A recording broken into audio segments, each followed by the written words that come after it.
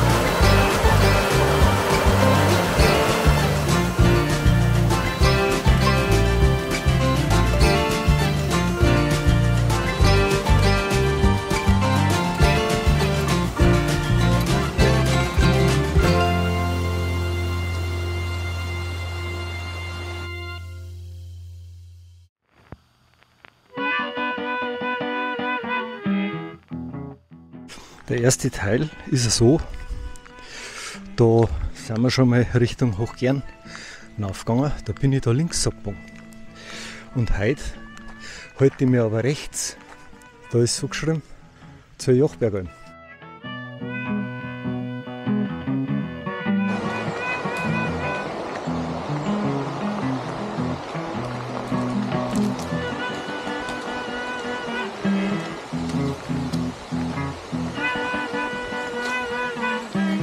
Ja, da ist jetzt nichts angeschrieben. Wir müssen trotzdem rechts. Links gehen jetzt eben nochmal zum Hochgernome. Richtung Agas Geschwind.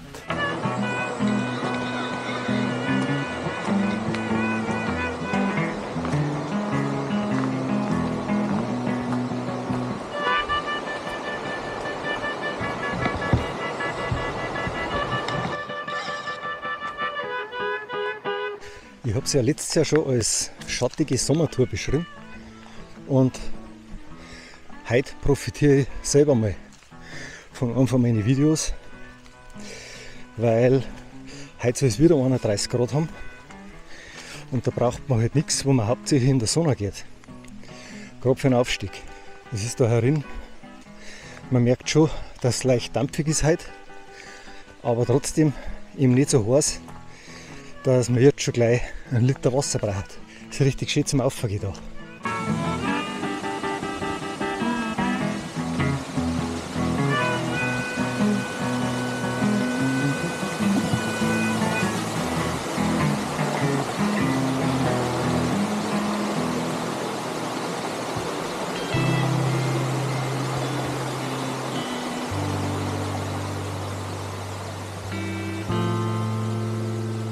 Ruckzuck ist aus dem breiten Weg ein Steig geworden. Ganz ein kurzes Stück bergauf und jetzt geht es leicht bergab.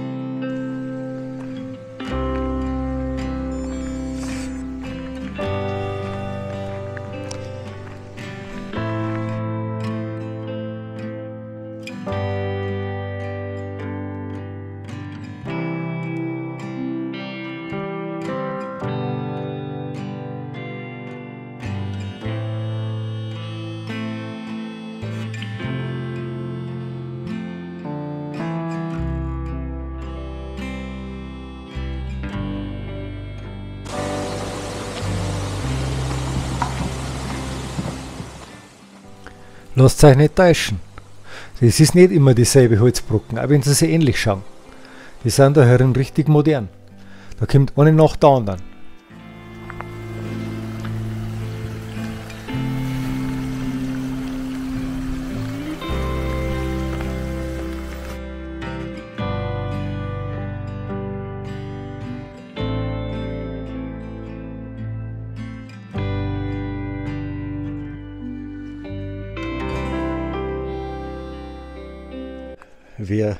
Altes Video von da kennt, der weiß, ja, den Wegweiser haben wir letztes Mal gesehen. Hin und dazu ist ein bisschen zugewachsen, da steht aber auch nur unter Wössen dort. Und oben, ich weiß nicht, ob man es durch die Bladel sieht, ich glaube schon, steht nochmal Jochbergalm und die Grundbachalm.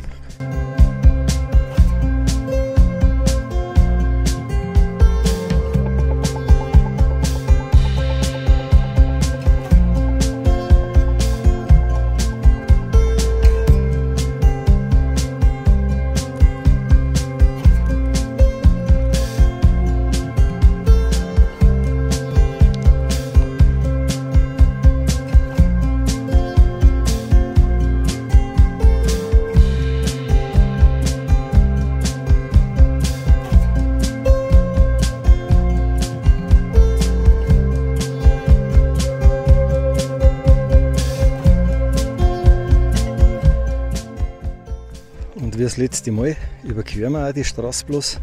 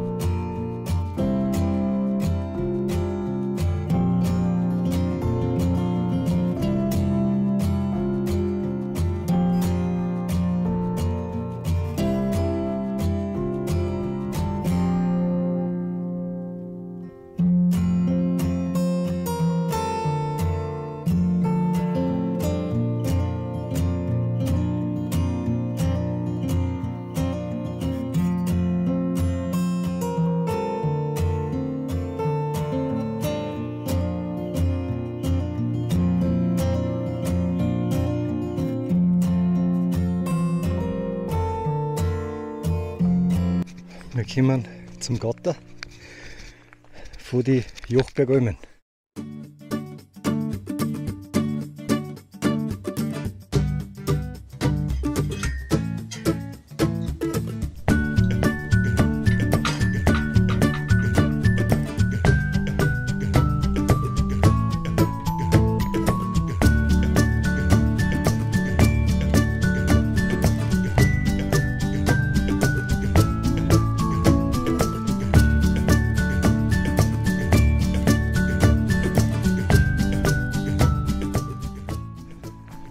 Radlfahrer ist da gern herum.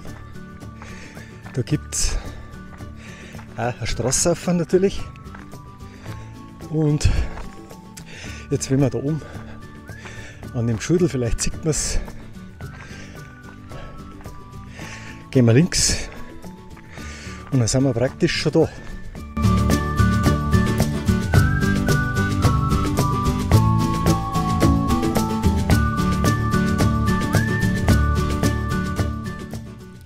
Wir kommen zu die Jochbergalm. Es sind drei. Man kann bei alle drei einkehren. Ich war letztes Jahr in der ersten und da steuere ich heute wieder hin. Ich möchte mal schauen, was sich verändert hat von einem Jahr aufs andere. Es war ja fast dieselbe Zeit.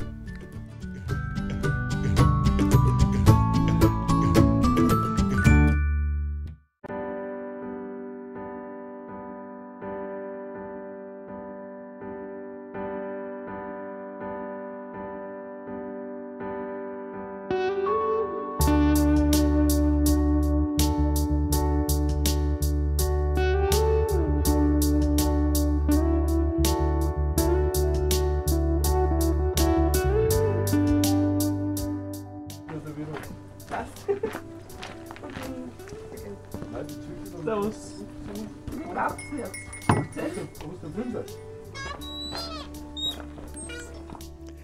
So, ich starte gerade wieder von der Jochbergalm und jetzt gehe ich noch über die Rechenbergalm runter. Ich habe gerade gefragt, dass scheinbar aktuell wieder jemand vom Dampfschiff abgestürzt ist. Ihr wisst, ich war einmal oben. Das ist nicht ganz ohne dann auf. Heute lasse ich es einmal aus und äh, gehe dann über die Rechenbergalm wieder runter. Ich zeige euch die ganze Runden. Wie gesagt, ich habe schon einmal gemacht, letztes Mal beim Abstieg nicht so gut aufgenommen.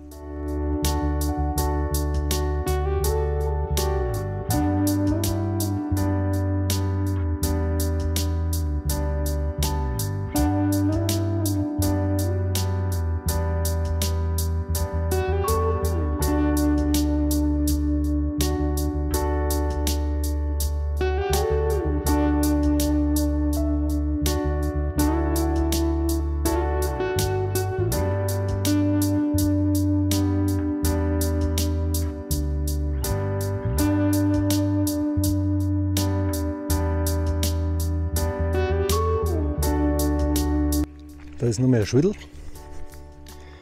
Und da geht der Steig weg. Der geht Richtung Dampfschiff auf. Weiter vorn geht es auch noch mal auf. Da bin ich das letzte Mal aufgegangen. Das ist noch, ich denke mal, relativ gesehen der einfache Aufstieg. Aber es ist halt da nichts gesichert und ich weiß auch im Moment nicht, wie der Wegzustand ist. Das zeige ich euch kurz noch. Ich werde es halt heute auslassen.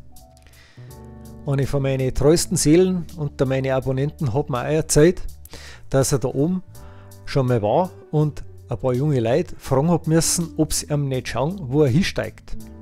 Weil er beim Runtergehen gemerkt hat, dass er Unsicherheit drin hat. Und das sind halt die Tücken, wenn man so kleine Abstecher geht. Da ist das Absteigen schnell schwieriger wie der Aufstieg.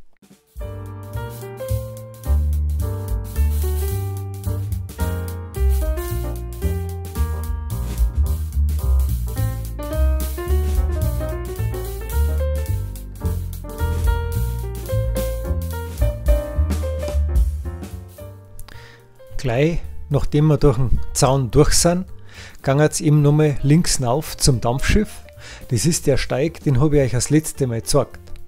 Wie ich über die Rechenbergalm aufgegangen bin und auch wie ich das letzte Mal über die Jochbergalm rauf bin. Wenn es interessiert, der kann sich das alte Video anschauen. Ich weiß aber im Moment nicht, wie der Wegzustand ist oder ob sich irgendwas verändert hat da oben. Ich meine, der Absturz, wie wir gehört haben, zeigt wieder mal, dass man lieber einmal umdreht, als dass man meint, man muss unbedingt rauf. Da ist beim Absteigen oft schwieriger wie rauf, das betone ich immer wieder. Und da ist es halt einmal gescheiter, wenn man es einmal bleiben lässt.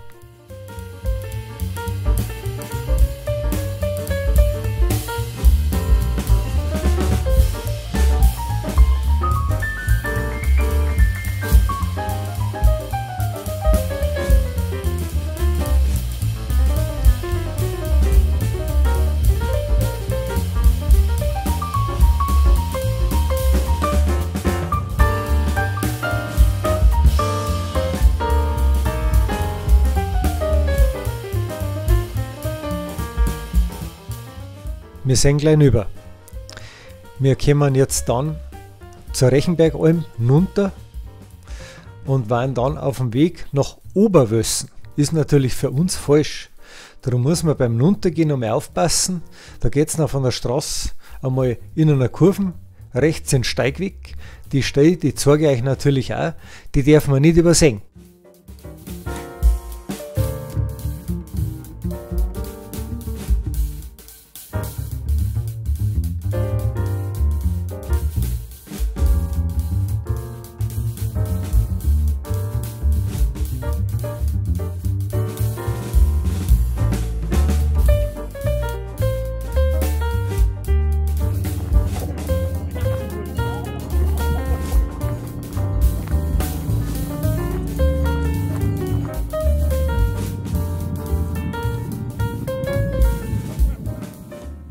An der Rechenbergalm ist wieder richtig was los. Ich gehe heute vorbei und man sieht gut ausbaute Straße. Da kommt man natürlich leicht drauf. Die ist, denke ich mal, schon fast mehr besucht wie die Jochbergalm.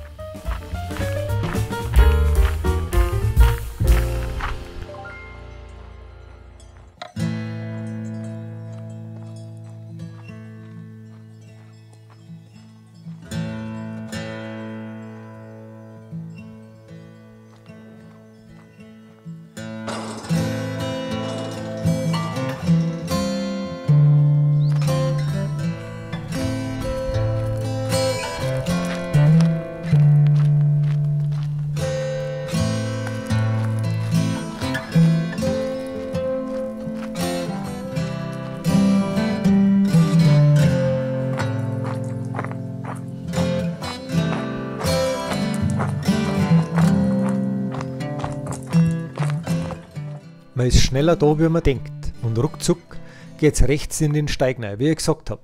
Man muss echt ein bisschen aufpassen, dass man es nicht übersieht. Und ihr merkt es, auch bergab ist der Weg schattig und kühl. Wichtig ist, dass man die Steine nicht übersieht in den kleinen Steig, weil wir ja wieder nach Unterwössen müssen und nicht nach Oberwössen, wo uns die Straßen unterbringen hat.